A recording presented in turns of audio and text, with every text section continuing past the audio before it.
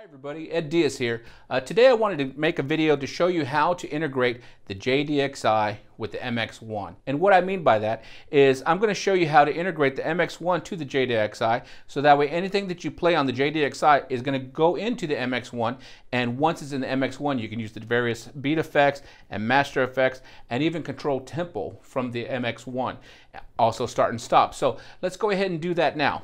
So here are a couple of settings that you have to make on the JDXI before you can do this. So let's look at the JDXI. We're going to go into Menu, System, press Enter. Now we're going to cursor over to the MIDI section. So I'm just going to hold it down. And right now it's on USB driver generic. I'm going to switch that one to vendor. Now by switching that to vendor, that makes it so that way the MIDI and the audio passes through the USB. So now I'm going to cursor to the left clock MIDI source, instead of MIDI, I'm going to have it go ahead and go from USB. Because remember, we're running USB directly into the MX1, and the MX1 will control the tempo of the JDXI. One last setting, we're going to cursor to the left one more time. In sync mode, currently it's in master. I'm going to turn this one to slave. Now I'm going to exit, and you see it writes, system writes it.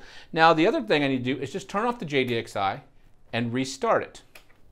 Now what this does, this makes sure that all those parameters take effect. Uh, this is also how we hook up the JDXI to a computer as well. Make the uh, parameter changes that we need to make and then we flip it off and flip it back on and it's all set. Okay, so after I made these settings, I'm going to take the USB cable and I plugged it into the, the, the JDXI. Now I'm going to go ahead and plug that USB into USB 1 of the MX1. Now let's give it a shot. Turn up the volume. There you go.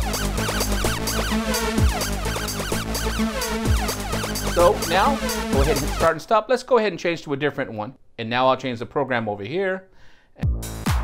So this is a good one right here. I'm gonna use this as an example. So we have the JDXI being controlled by the MX1, start and stop on the MX1. But what else can we do? Now that we're running MIDI plus audio to the MX1, let's check out what else we can do. First off, I can split the tempo and adjust the tempo live. Back and forth. Great, it's all set. If I wanted to, I could use tap tempo. And it's gonna change the JDXI, it's gonna follow. If I want to, I can hit define and fine adjust my tempo. Now the only setting we had to make in the MX1 is make sure it's in mixer mode. Then we went ahead and pressed the sync button and make sure it's in internal. That way the Roland products that are hooked up through USB and this comes from the version 1.03 OS that just came out for the MX1. So that allows you to hook up the JDXI, JDXA, FA08, FA06, uh, Jupiter 50, and Jupiter 80. There'll probably be more, more to follow, but that's a great start. So we just made sure it was internal, it's synced, and it's all set. Now let's go ahead and play in here, and uh, let's explore some of the effects. So here's, I'm going ahead and controlling the volume right there. Press select, and now I can adjust some of the different filter right here. Oops. Now let's press select, now we'll adjust some filters. So select, on USB 1, that's JDXI. Has some filtering going on. Let's look at the beat effects. More filtering if I want. I'm gonna go ahead and put on a slicer. I'm gonna get it ready. And now we just turned that into a completely different sound. This is really a lot of fun. Let's take it off real quick. Maybe we'll put a side chain and see it's gonna side chain every other one. Let's go ahead and Make it so. Great, now let's put the sidechain on, so beat effect, turn it on. That's really, really cool.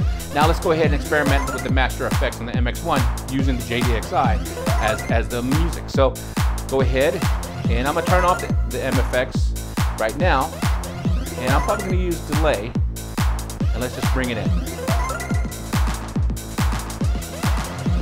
That knob, I can go ahead and bring it back down. Very quick, very easy. Let's go ahead and try the scatter effect.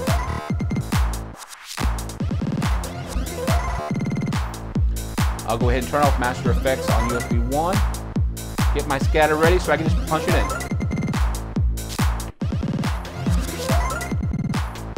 Pretty cool, very easy. Now check this out. If I wanted to, I can press and hold the scatter check it out. There's different scatters available. So go ahead and do that. Turn it on. Let's bring it in. Maybe some bit crush. And let's bring it in.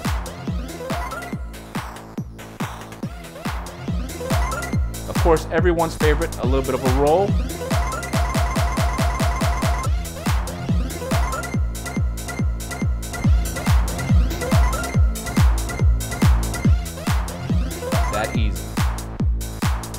So as you see, hooking up the JDXI to the MX1 and letting the MX, MX1 do what it's supposed to, be a mixed performer, now we can have even more fun with our JDXI. So check it out and I'm sure you're gonna love it. All right, you guys take care. I'll talk to you later.